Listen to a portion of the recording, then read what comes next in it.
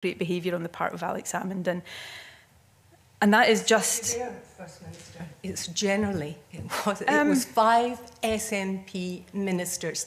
And can I remind you, Alex Salmond is a key witness to this inquiry. He's not under trial. Your actions are. And if you could focus on that, Sorry, uh, that would be much appreciated. my apologies. I was saying I hadn't heard anything, so I was, wasn't putting him on trial for that.